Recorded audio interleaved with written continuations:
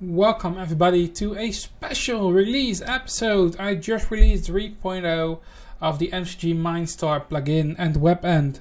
What's changed? Well, pretty big thing. It's completely recoded its installer. So basically, whatever you want to do, you now have to just use one panel to install both panels instead of both panels for both panels. So to be short, it can be complicated before this update and now it's fixed.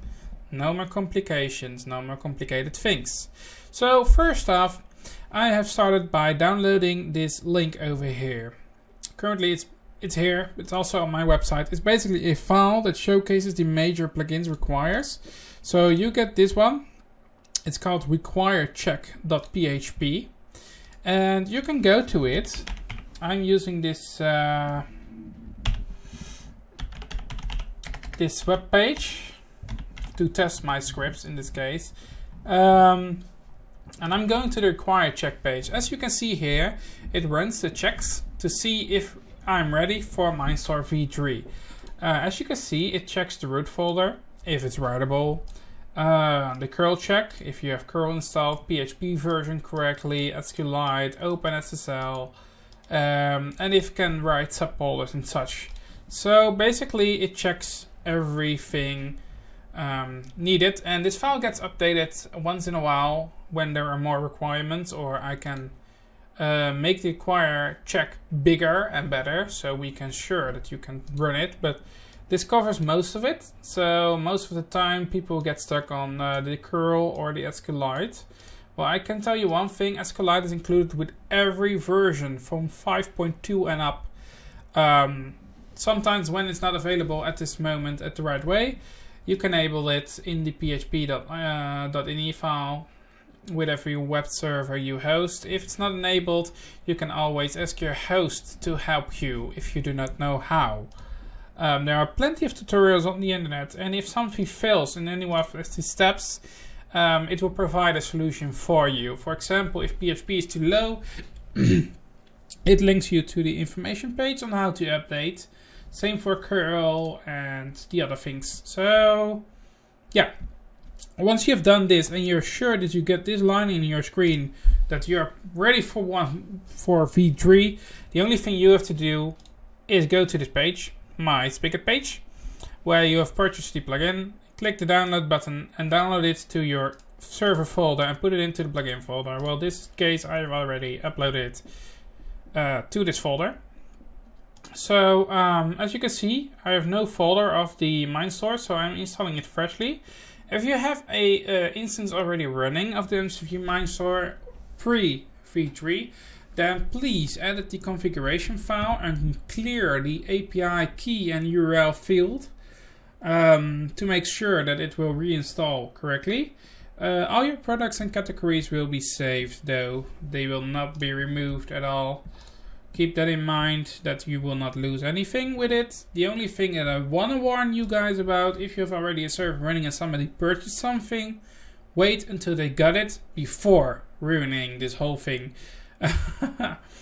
if you update in the middle of somebody getting things, they will not get it anymore because we are changing database storage. So basically, we used to use MySQL, we are going to use SQLite as database thing.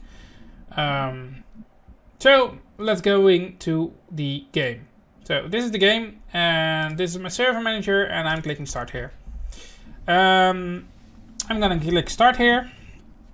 Just uh, loading it up. Blah blah blah blah blah. Gonna take some time.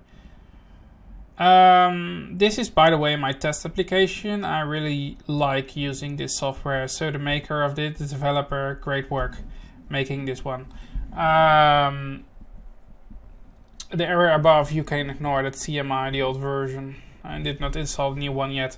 Anyways, it first checks your credentials and such. Um, and then it will say that's protected, loading everything.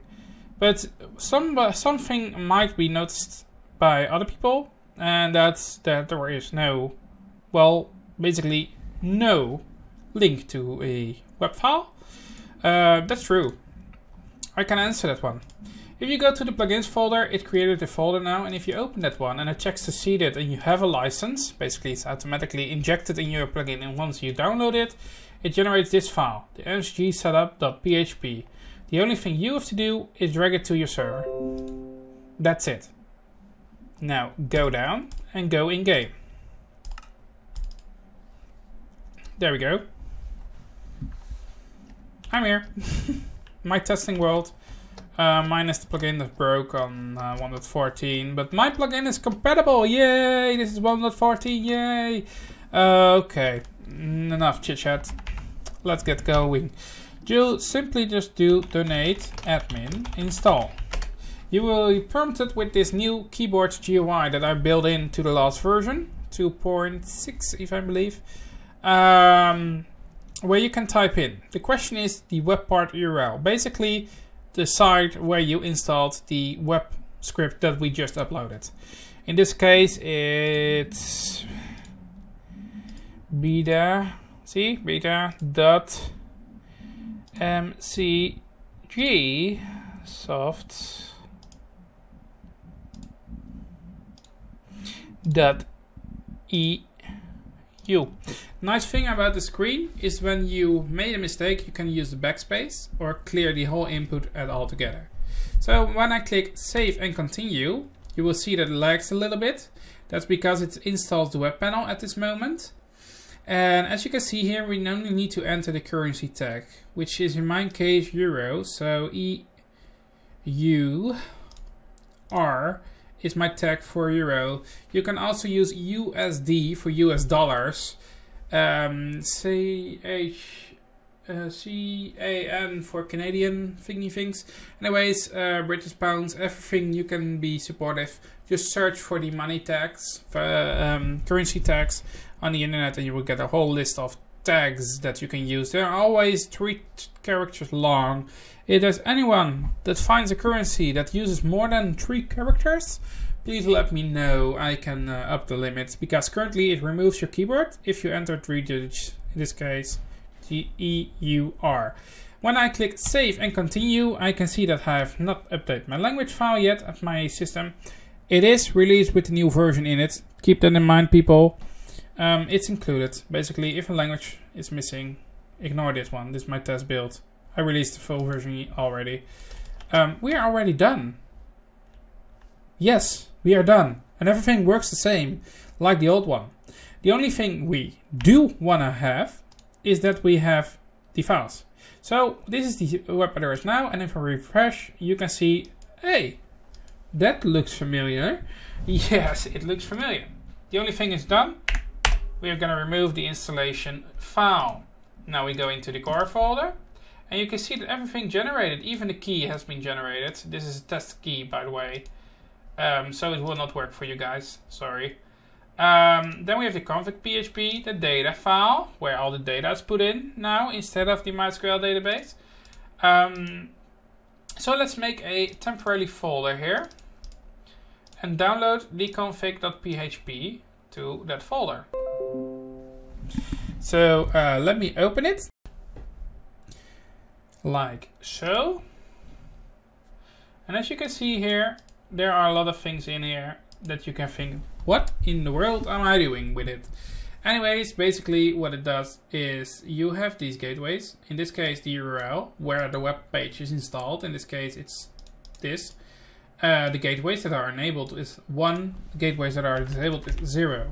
I left those empty by the way on purpose. If you do not want to use them, enter a 0. The free gateway, for if your amount is 0 that you can check out, can be disabled by changing it to a 0 and otherwise turn it to 1. PayPal and free is always defaultly active, so keep that in mind. Secondly, the currency is already entered for you from the game out, so you can use this link here, if you open that link, to see all the currency codes with all the uh, money values. And as you can see, as I noticed, they are all three letters long. That's why I said, if I make a mistake, just let me know. Um, okay. Uh, if you have PayPal enabled, like here, it's one. You need to pay, it, uh, pay attention to enter your PayPal email, otherwise it will end up nowhere. If somebody pays you, if you use PayGo and have it enabled, you need the PayGo ID, otherwise leave it like this. Uh, payment wall works the same with your key and secrets, keep that in mind. And now the styling of the web page. Um, basically the name, your community name, the address of the donation store um, page is already entered. You can alter this as you wish, uh, of course. And I added some examples on how it works. You can change these links to totally different, for example, google.com if you want to. Um, and this is the name of the button on the page itself. So basically everything is the same, but a little bit way truncated to make it more easy to understand. Before, uh, Payment Wall got like loads of different uh, options and settings. But since Payment Wall now enables you to turn them off on your panel on the other side, your widget panel from uh, Payment Wall itself, it's no need to have it inside this file. Once you have done and configured everything, just click Save and you're basically completely done. Keep in mind, if you want to change any of the gateways to on or off, don't forget to also edit your config file inside the Minestore folder and changing one of these gateways to true if you want to use this. In this case, I have free to false to make sure it's not usable anymore on that way. The API is automatically filled with the correct key to be bound to that web installation, so you do not longer need to enter anything like that. And you can also alter these settings. This is an old setting, by the way. It keeps getting back. I removed it like 12 times now. Anyways, you can ignore that one. Uh, the product icon, default, and the rest all is like the old days. The same, the only thing that is now in use is the protocol tag. I announced it earlier. Basically, the panel, the plugin itself, tries to connect to HTTPS by default. If you have problems or not having a certificate or anything that prevents you from using a secure connection, even if I recommend just using it, um, you can also remove the S here. And then it will be a normal connection, although I'm not responsible for any leakage, problems and such occurring from this change. So basically that's the quick installation part. Um, it's now all completely working and working order and the rest works as it used to be. Um, so if you liked this update, please be sure to review my plugin if you have tried it out and you think it's useful. Give me a rating that you appreciate it um, and rate fairly, of course. So uh, thank you all for watching. See you all the next one. Good luck.